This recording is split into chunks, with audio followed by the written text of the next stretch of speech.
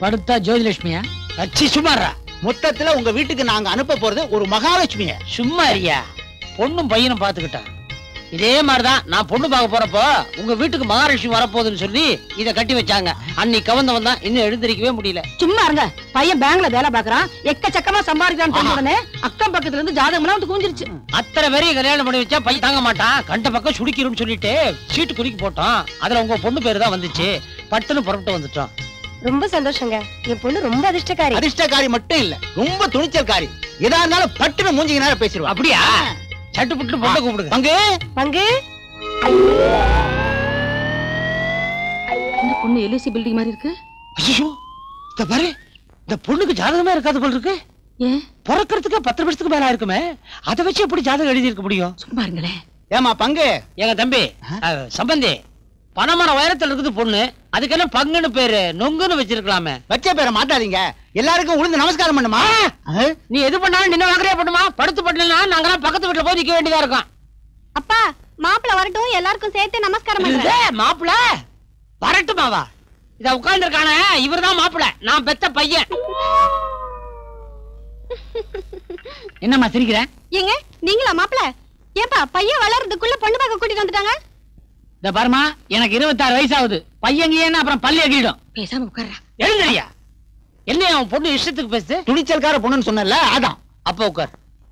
ஏன்பா இந்த பையனை நான் கட்டிக்கிட்டா நாலு இடத்துக்கு நான் எப்படி கூட்டிட்டு போக முடியும்? ஏன் வயர் என்ன இந்த பையன் வயர் என்ன இந்த பாரு ஓய் மிதிச்சேன் மூஞ்சி உள்ள போயிரும். ஏதோ உங்க வீடாச்சுன்னு பாக்குறேன். நல்ல பொண்ணை பாத்தீங்க வாங்க. வாடி போலாம். வாங்க. ஒட்டக்கு சிவி சரிதான் போயா.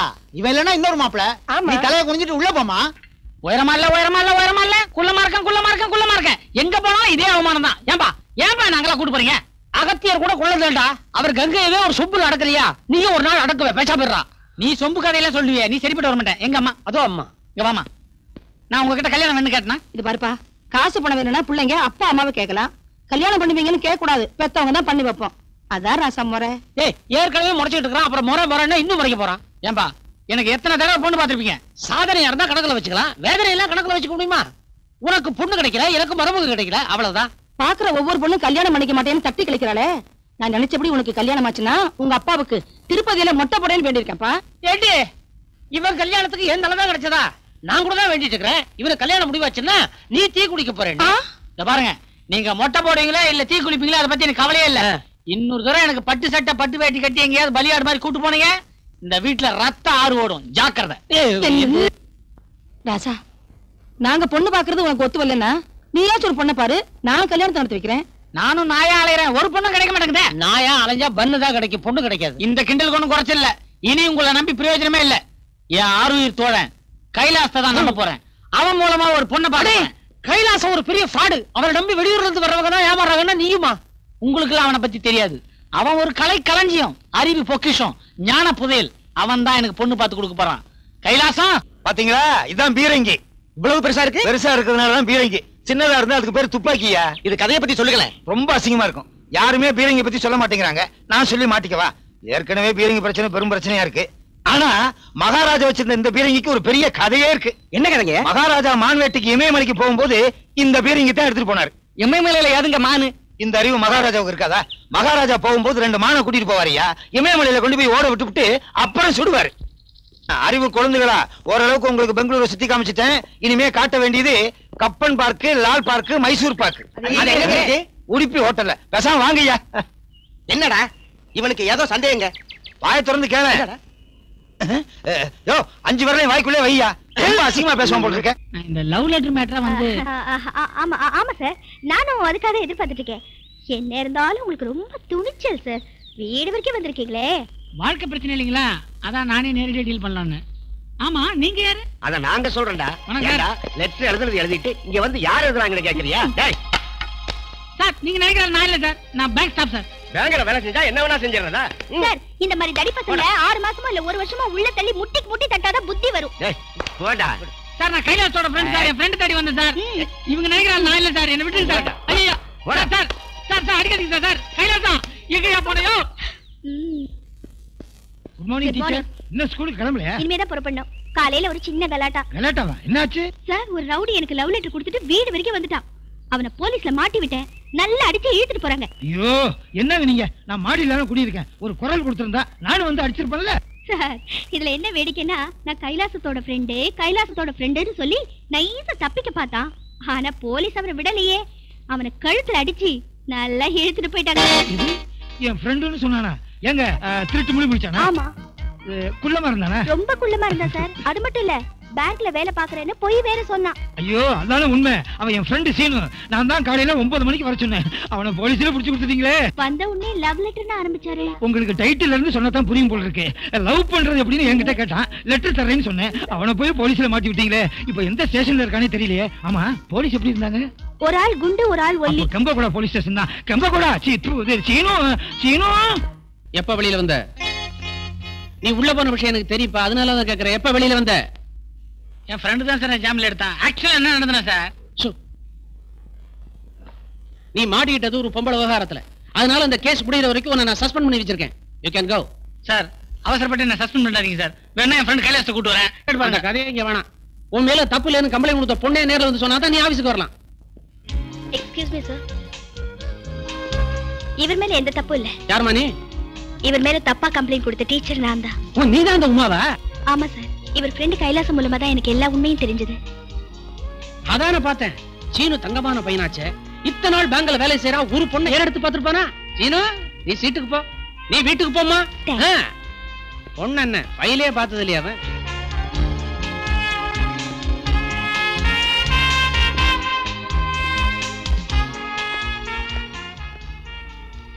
சார் என்னம்மா? எல்லாம் முடிஞ்சு போச்சு அப்புறம் என்ன? எனக்கு ஒரு அக்கவுண்ட் ஆரம்பிக்கணும் சார் என்ன அக்கௌண்ட் ஆ, ரெண்டு மனசையும் ஒன்னா டெபாசிட் பண்ற பிக்ஸ்ட் அக்கவுண்ட் சார் உலகத்திலேயே அந்த மாதிரி ஒரு அக்கௌண்டே கிடையாது. அப்படி ஒரு ஜாயிண்ட் அக்கவுண்ட் ஆரம்பிச்சீங்கன்னா இன்ட்ரெஸ்ட் நிறைய வரும். ஒருத்தர் ஒருத்தர் மீட் பண்றப்பதான் கரண்ட் அக்கவுண்டே ஒர்க் அவுட் ஆகும். ஓடி விளையாடலாம். என்னப்பா அது? போலீஸ் ஸ்டேஷன்ல கேடிங்க போட்டோ ஓட்டி வச்சிருக்கிற மாதிரி பொண்ணுங்க போட்டோ ஓட்டி வச்சிருக்கேன் ஆரஞ்சு பல்ல கழட்டிடுவேன். உனக்காக கஷ்டப்பட்டு காஷ்மீர்ல இருந்து கன்னியாகுமரி வரைக்கும் கல்யாணத்துக்காக காத்துட்டு இருக்கிற பொண்ணுங்கள்ல நாலு பொண்ணோட போட்டோவை தேர்ந்தெடுத்து கொண்டாந்துருக்கிற நீ என்ன பண்ற? ஆள் காட்டி வரனால கண்ணை மூடிட்டு எதையாவது உள்ள தொடு. மிச்சத்தை நான் பாத்துக்கிறேன். மிச்சத்தை நீங்க பாத்துக்கிறீங்களா? கல்யாண வேலையை அவர் பாத்துக்கிறேன்னு சொல்றாரா? அத விவரமா சொன்னாதானே புரியும். இதெல்லாம் ஒரு மூஞ்சிங்களா? மூஞ்சிய விடுறா. மிச்சம்? அதெல்லாம் சரிப்பட்டு வராது. நானா ஒரு பொண்ணு பாத்திருக்கேன். எப்படி?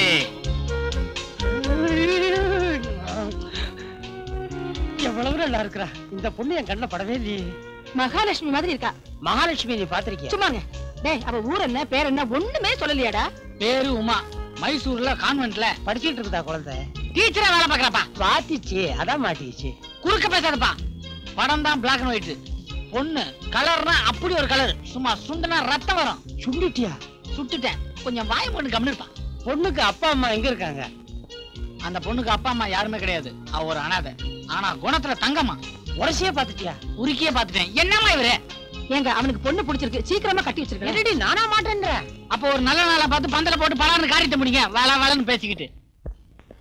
இந்த பாரு என் கல்யாண வேலை இருக்கிறதால ஒரு நாலு நாளைக்கு உன் கைடு வேலையை விட்டுட்டு பேசாம என் கூட வா. அதுக்கு முன்னால ஒரு விஷயம். என்ன? வேணுகோபால ஐயர்னு ஒரு ஜோசியர் இருக்காரு. அவரை போய் நாம பார்க்கணும். எதுக்கு? இது வரைக்கும் உன் கல்யாணம் தடைப்பட்டுக்கிட்டே இருக்கு. இந்த கல்யாணமாவது தடை இல்லாம ஒழுங்கா நடக்கணும். அதுக்காக போய் பார்க்கணும். கைலாசம் பொண்ணு புடிச்சு போனதுனால தான் நம்ம கல்யாணம் செட்டப் பண்ணிருக்கோம் மனசு ரெண்டு ஒத்து போன பிறகு எதுக்கு ஜோசியர் போய் பார்க்கணும்? இந்த பாருப்பா வேணுகோபால ஐயரை சாதாரண நினைக்காத. அவர் தேதி குறிச்சு கொடுத்துதா பல கோயில்களுக்கே கும்பாசம் பண்ணிருக்காங்க அவர் தேதி குறிச்சு கொடுத்துதா பல அணைக்கட்டுகளே கட்டியிருக்காங்க.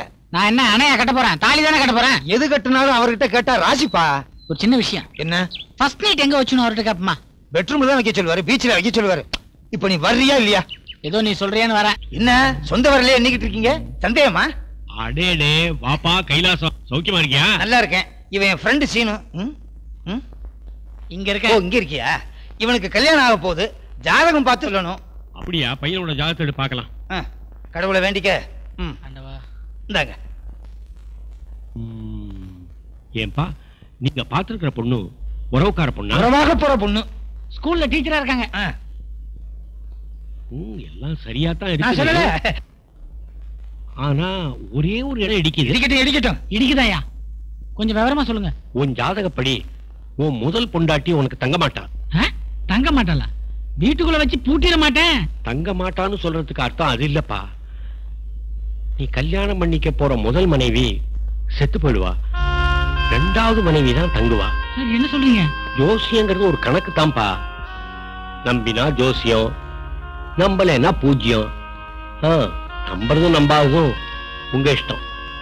முத்து மாலே முத்து மாலை எது? செத்த மாலையா யார் யாரு தங்கச்சிங்க. இருபது வருஷமா வாதத்துல படுத்திருக்குங்க. இருபது வருஷமா படுத்திருந்தா அதுக்கு பேர் வாதம் இல்ல புடிவாதம். இருபது வருஷமா போகிறதுக்கு இப்போ போயிட போதும் எடுத்து எடுத்து போ. இல்லைங்க டாக்டர் சொல்லியிருக்காருங்க. என்னென்ன? அதிர்ச்சியான விஷயம் கேட்டா உடனே போயிடுமா. கைலாசம்? இது எது ஒர்க் அவுட் ஆகிற மாதிரி தெரியுது? கரெக்ட் உங்க தங்கச்சி நான் கட்டிக்கிறேங்க? எனக்கு கல்யாணமா? பாப்பா ஒத்துக்கிச்சா? இல்லைங்க செத்து போச்சுங்க. அப்புறம் என்ன எடுத்துட்டு போ. மலர்களை பால் தங்கை உறங்குகிறாள். ஆள் பாட்டு பாடி அந்த பொண்ணை கொண்டே விட்டான். அடுத்து யாரு? தலைய பாரு மண்டோட்டுக்கு மேக்கப் போட்ட மாதிரி. வா. வா வா. என்ன? சிலிண்டரோட வந்திருக்கான்? சமைக்க போறானா? தெரியலையே. என்னையா குறை? எனக்கு ஒரே பொண்ணு.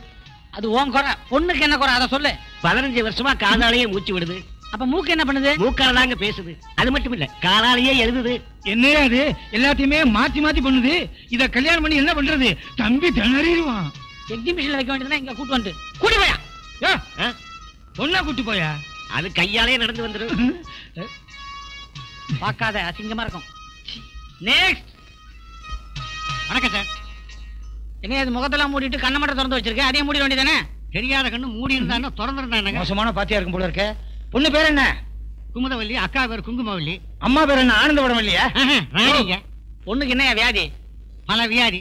எந்த வியாதின்னு சொல்லட்டுங்க. எதையா ஒண்ணு சொல்ல? என்னது? யோ நாங்க காலையிலேயே டிஃபன்லாம் சாப்பிட்டோம்.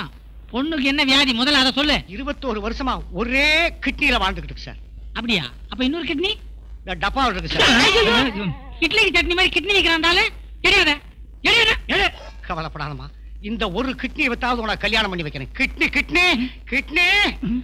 என்னது? ரயில்வே ஸ்டேஷன்ல முறுக்கு வித்த மாதிரி வித்துட்டு போறான்?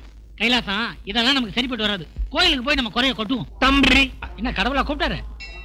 நான் தான்? என்னது? பள்ளிகுண்ட பெருமாள் மப்டியில படுத்திருக்காரு? டியூட்டி முடிஞ்சிருக்கோம் தம்பிகளா என்ன வேண்டுதலுக்காக நீங்க இப்படி உருண்டுகிட்டு இருக்கீங்க? இவருக்கு இன்னும் கல்யாணம் ஆகல. அதனாலதான். கல்யாணம் ஆகலையா? சொன்னா நீங்க ஆச்சரியப்படுவீங்க. அப்ப சொல்லாதீங்க. சொல்லாம இருக்க முடியலையே. நான் ஒரு கல்யாண புரோக்கர் நம்ப முடியலையே? நம்ப முடியலையா? உங்களுக்காக நான் போர்டை மாட்டிக்கிட்டா அலைய முடியும். என்னுடைய சர்வீஸ்ல நான் இதுவரைக்கும் செஞ்சு வச்ச கல்யாணம் எல்லாமே ஓஹோ. ஓஹோ. ஆஹா, ஓஹோ. ஓஹோ. நீங்க என்ன படிச்சிருக்கீங்க? என்ன வேலை பாக்குறீங்க எந்த மாதிரி பொண்ணை எதிர்பார்க்கறீங்கன்னு என்கிட்ட ஒரு ஐடியா கொடுத்தீங்கன்னா நானே ஒரு நல்ல பொண்ணா பார்த்து உங்க கல்யாணத்தை முடிச்சு வச்சிருவேன். நான் பெங்களூர்ல பேங்க்ல வேலை பார்க்கறேன் சார். பேங்க்ல வேலையா? ஆமா. பொண்ணுகிட்ட நீங்க என்ன எதிர்பார்க்கறீங்க? ஒரு நல்ல வியாதியை தான். வியாதியா? ஆமா சார். வரதட்சணை எல்லாம் வேணாம். சாகர நிலையில வியாதி உள்ள ஒரு பொண்ணை பார்த்து அவ கழுத்துல தாலியை கட்டி சுமங்கலியா மேல அனுப்பணுங்கிற உன்னத லட்சியத்தோட ஊர்ல இருந்து வந்திருக்காரு. கல்பனாவுக்கோ கல்யாணம் ஆகல. வரதட்சணை அது இதுன்னு கேக்குறானுவோ. பேசாம கல்பனாவுக்கு வியாதி இருக்குன்னு ஒரு பொய்ய சொல்லி இவன் தலையில கட்டி விட்டுட்டா? ம். பேய், பேய். எதுக்கு அழறாரு ஒருவேளை அவருக்கு வியாதியோ என்னமோ? இதுக்காக நான் இவரை கல்யாணம் பண்ணிக்க முடியுமா? சார்! சார் சார் சார் ஏன் சார் முடிக்கிறீங்க? கண்ணாடி உடச்சிருப்பது கழட்டி வச்சு முடிங்க. என் சோக கதையை கேளுங்கப்பா. எண்ணி பதினேழே நாள்ல சாக போற பதினெட்டு வயசு பொண்ணு எனக்கு இருக்குது. அவ பேரு கல்பனா. அவளுக்கு அறிவு இருக்குது அழகு இருக்குது கூடவே வியாதியும் இருக்குது. என்ன வியாதி? நெப்ரோசிட்டிஸ் த்ராம்போசிஸ் ஆப்ரகடப்ரா சொல்றதுக்கே அவ்வளவு சிரமப்படுறாரு. அந்த வியாதி வந்து அவ்வளவுதான் நினைக்கிறேன். ஏங்க நீங்க வைத்தியமே பார்க்கலையா? நான் பார்க்காத டாக்டரா டாக்டர் ஜானக்ஷா. ஃபுல் ஏத்திட்டீங்களா? டே டெஸ்ட் பண்ணி பார்த்தாரு. முடியாதுன்னுட்டாரு டாக்டர் நெப்போலியன். ஹாஃப் டே அவரும் கைய விரிச்சிட்டாரு. கடைசியா டாக்டர் மெக்டோவல். குவார்டர் டே அவரும் கழட்டி விட்டுட்டாரு. அப்புறம் வேற வழி இல்லாம நியூவா வந்திருக்காரு. ஓல்டு மாங்க்னு ஒரு மந்திரவாதி. அவர்கிட்டயும் போனேன். அவர் ஏன் நாடிய புடிச்சு பார்த்துட்டு ஓம் பொண்ணு பொழைக்கவே பொழைக்காதுன்னுட்டாரு தினமும் டூ தௌசண்ட் ஃபைவ் தௌசண்ட்? இல்ல. செலவாகிட்டு இருக்குது. என்ன பிரயோஜனம்? இன்னும் பதினேழே நாள்ல அவ போயிடுவாளு? பதினேழே நாள்ல சாப்பிடுற பொண்ணு கப்பு நமத்து சரின்னு சொல்லு. இது அவர்தாச்சே? ஒரு வீட்டுனே. சார். என்னப்பா? சார் உங்க பொண்ணை கல்யாணம் பண்ணிக்கிறதுக்கு இவனுக்கு சம்மதம். ஆமா சார் வாங்க. இப்பயே போய் உங்க வீட்டுல பொண்ணை பார்ப்போம். அந்த சிரமமே உங்களுக்கு வேண்டாம். இங்கேயே இப்பவே என் பொண்ணை நீங்க பார்க்கலாம். எப்படி? அதோ அம்மன் சன்னதியில நெஞ்சுருக பிரார்த்தனை பண்ணிக்கிட்டு இருக்காளே. அவதான் என் மக.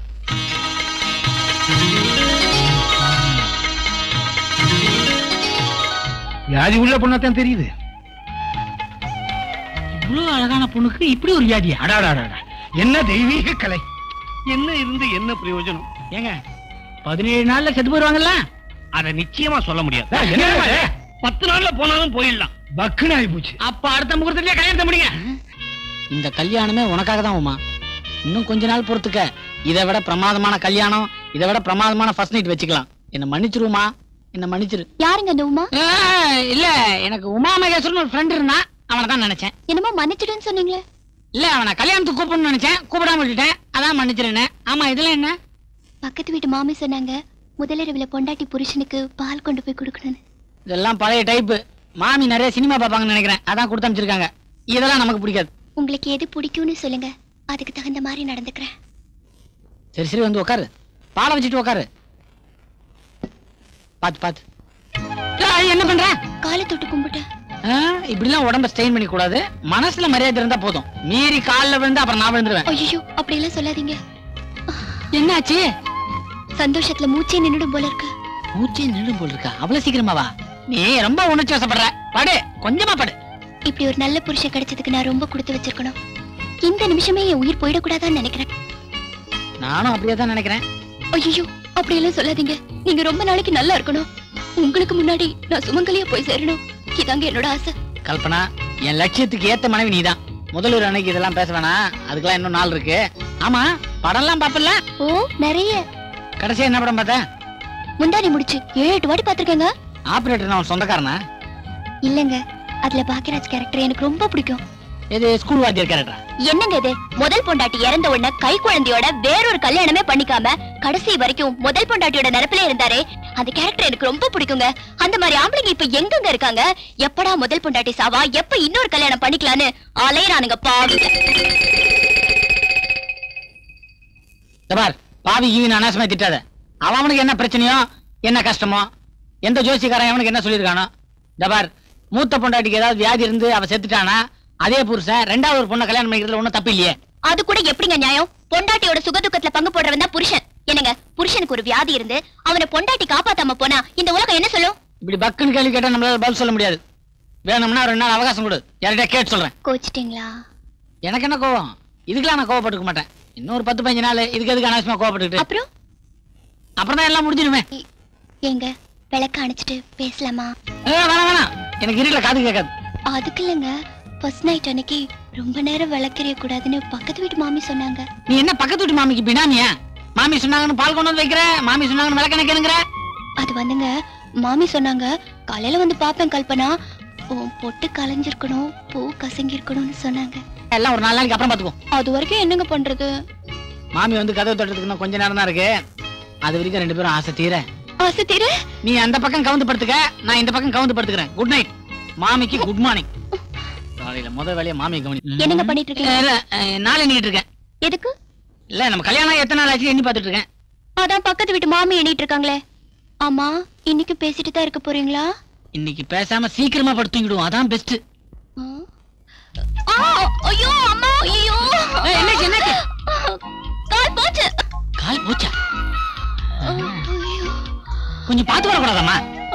பார்த்து தாங்க வந்தேன். ஐயோ மயக்க வர மாதிரி இருக்குது. மயக்கம் வேற வருதா? வேற என்னென்ன பண்ணுது? உடம்பெல்லாம் என்னமோ பண்ணுது. உடம்பெல்லாம் என்னென்ன பண்ணுதா? பண்ண முடியலையே. மூச்சே விட முடியலையா? எனக்கு ஏதாவது மருந்து இருந்தா எடுத்து தடவி நீவி விட கூடாதா தடவி நீ வருதா இது என்ன மாமி வைத்தியமா? பொடி பைத்தியம். இதுக்கெல்லாம் மருந்தே போடக்கூடாது. அப்படியே விட்டுறணும். அப்படியே விட்டுட்டோம்னா அதுவா அடங்கிடும். அடங்குறதா? அடக்க அடக்க அதிகமாகுது. ஒரு பத்து நாளைக்கு பொறுத்துக்க எல்லாம் சரியாயிடும். அதுக்கப்புறம் உன்ன மாதிரி அடக்கமான பொண்ணு இந்த உலகத்திலேயே கிடையாது. இன்னும் எத்தனை நாளைக்கு தான் இந்த வேதனையும் தெரியலையே. இது பாருங்க புழங்காத வீடும் உழுகாத நிலமும் உருப்படாதுன்னு சொல்லுவாங்க. இந்த பார் அப்படி இப்படின்னு சொல்லி மனசு அழட்டிக்காத ஆமா தினம் பக்கத்து வீட்டு மாமி அப்படி சொன்னாங்க அப்படி சொன்னாங்க அப்படியே நீங்க எதுவும் புதுசா சொல்லியா சொன்னாங்களே ஆனா அது எதுவும் ஒர்க் அவுட் ஆகலையே. அம்மா.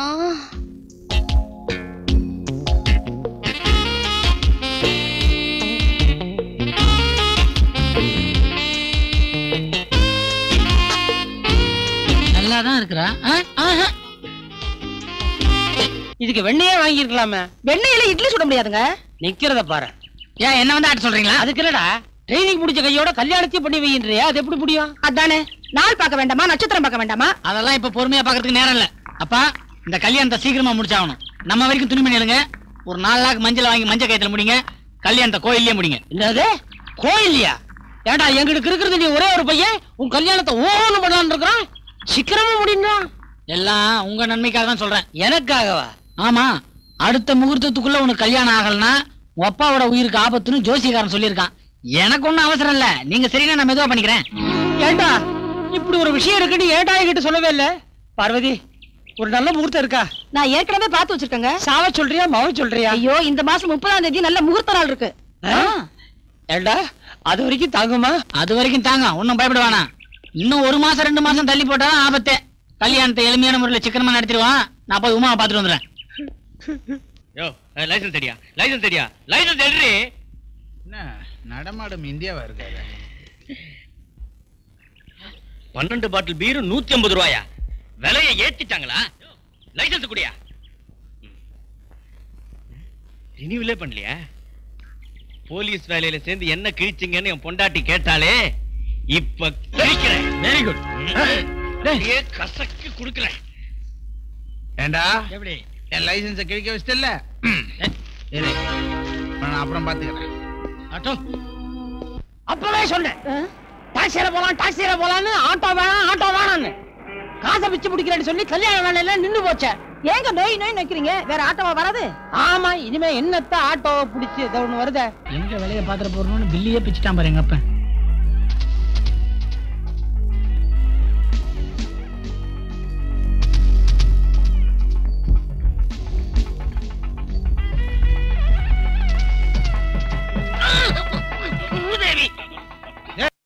விளையாடக்கூடாது என்ன சார்? அடி லேசா பலமா? உனக்கு பட்டிருந்தா தெரியும். அதுக்கு நான் கேட்டுக்கவே வேண்டாம். சில்லுண்டி பைய சில்லி மூக்க உடைச்சிட்டான். சீக்கிரமா பொண்ணு அலங்காரம் பண்ணி கூட்டிட்டு வாமா விளக்க நான் எடுத்துட்டு போறேன். சரிம்மா.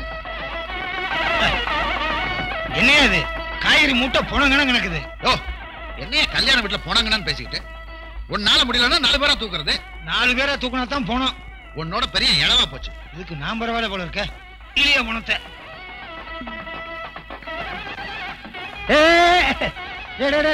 நானும் வர்றேன்டா.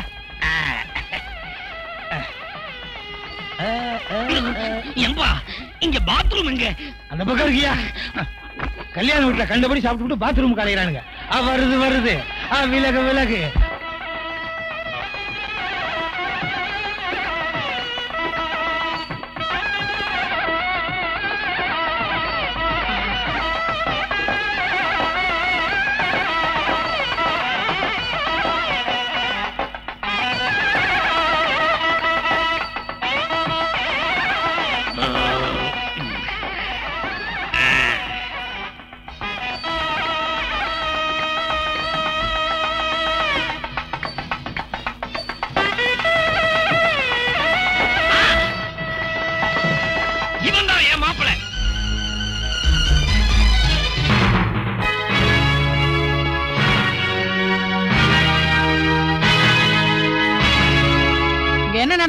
நடு ஆள்ல நிக்க வச்சு ஆளாளுக்கு முறைக்கிறீங்க. என்னது? பால். சக்கரை போட்டியா? ஆ போட்டிருக்கேன். ஏலக்காய் போட்டியா? போட்டிருக்கேன். விஷம் போட்டியா? போட்டு ஆ? ஆஹா இல்லங்க. விஷம் இருந்தா அதையும் போட்டு கொண்டா. குடிச்சிட்டு உடனே போய் சேர்றேன். ஏங்க இப்படி எல்லாம் பேசுறீங்க? பேசாம என்னடி பண்றது? நீ உங்க அப்பனை உருப்பிடுவீங்களா? இது பாருங்க என்னையே நான் மாத்திக்கிறேன். என்கிட்ட உங்களுக்கு என்ன பிடிக்கலன்னு சொல்லுங்க. பாட்டு பாட்டாவா பிடிக்கலன்னு சொல்லுவாங்க. மொத்தமா உன்னையே பிடிக்கல. அதுவும் நீ இந்த வீட்டுல இருக்கிறது எனக்கு பிடிக்கவே இல்ல. இதுக்கு நான் என்னங்க பண்றது? அடேங்க அப்பா. ஒண்ணும் தெரியாத பாப்பா ஒன்பது மணிக்கு போட்டாலும் தாப்பா. ஆஹா இல்லங்க எட்டு மணிக்கெல்லாம் போட்டுட்டேன். ரொம்ப முக்கியம் வழியாத. எங்கேயாவது கடலையோ குட்டிலையோ போய் விழுந்து சாவு. என்ன இப்படி புலம்ப வச்சுட்டேடி. எங்க அப்பா சொன்ன பொய்க்காக என்ன மன்னிச்சிருங்க.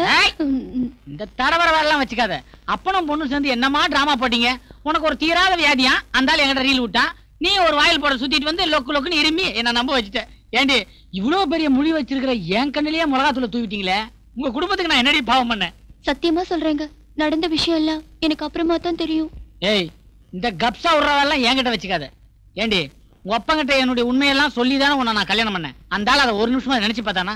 இந்த பார் உண்மையிலேயே என் மேல உனக்கு அனுதாபம் இருந்தா ஃபர்ஸ்ட் நைட்ல சொன்ன மாதிரி நீ சைடி ஃபர்ஸ்ட் நைட்ல நான் என்ன சொன்னேன்? இந்த நிமிஷமே என் உயிர் போயிடக்கூடாதான்னு நான் நினைக்கிறேன். சொன்னேன்ல அதை செஞ்சு காமிடி இது பாருங்க உங்களுக்காக இந்த நிமிஷம் கூட நான் உயிரை விட தயாரா இருக்கேன். ஆனா அதனால உங்களுக்கு எந்த பிரச்சனையும் வந்துடக்கூடாதுன்னு தான் பாக்குறேன்? எனக்கு எப்படி பிரச்சனை வரும்? வீட்டுக்கு வந்த மருமக விஷம் குடிச்சு செத்துட்டானா? அது ஏதோ வரதட்சணை கொடுமையா இருக்கும்னு நினைச்சு உங்களையும் உங்க அப்பா அம்மாவையும் போலீஸ் பிடிச்சு விசாரிக்கும். அப்படி ஒரு நிலைமை உங்களுக்கு வரணுமா?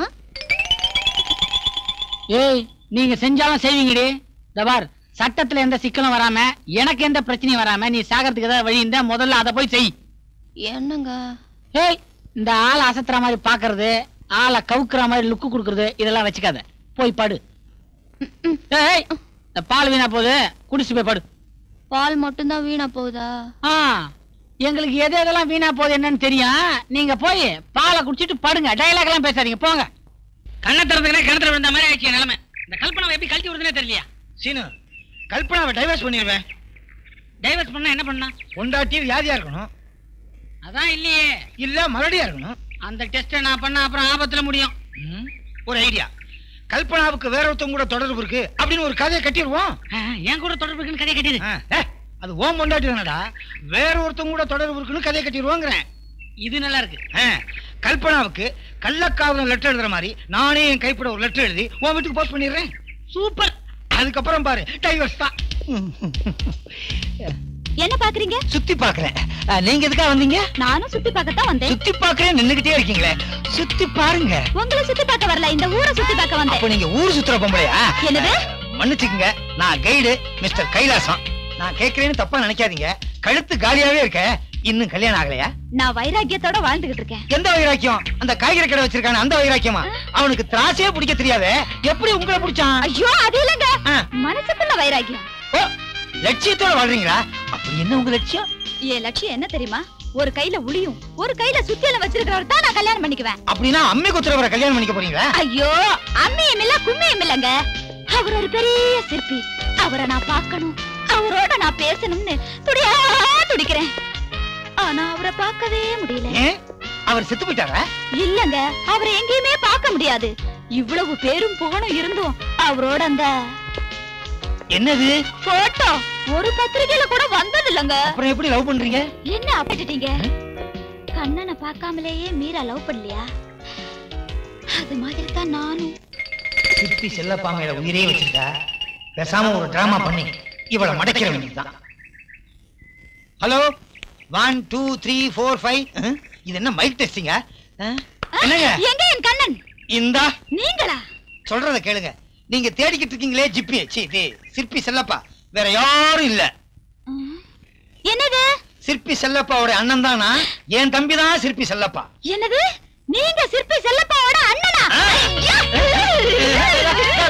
இந்த பக்கம் கொடுக்குறீங்க விடுங்க சொன்னா கேளுங்க எங்க எப்படியாவது அவரை நான் பார்க்கணும் உடனே அவரை கல்யாணம் பண்ணிக்கணும் சிற்பி செல்லப்பாவுக்கு கல்யாணம் ஆச்சே கிடையாது சின்ன பிள்ளையில படிக்கிறத விட்டுவிட்டு அடிக்க ஆரம்பிச்சிட்டான். செதுக்குறான் செதுக்குறான் ஜெதிக்கிட்டே இருக்கான். அவரை எப்படியாவது நான் மாத்திடுறேன். இப்ப அவர் எங்க இருப்பாரு? அவன் எங்க இருப்பான்? கோயில்ல இந்த கல்லு கிடக்குற இடத்துல பார்க்கல இருப்பான். இப்பவே போய் நான் அவரை பாக்குறேன் இப்ப போனா அவனை பார்க்க முடியாது. அவன் இங்கேயில இருக்கான். என்ன சொல்றீங்க? அவன் என் மனசுக்குள்ளே இருக்கான்னு சொல்ல வந்தேன். குறும்பு. செல்லப்பா செல்லு செல்லு. அவரை பார்த்தா சொல்லு. இப்பவே சொல்லு வடியுதே ஐயோ கைலாசம். நாளைக்கே சிற்பி செல்லப்பாவா மாறி பாட்டிய மடக்கிற வேண்டியதுதான்.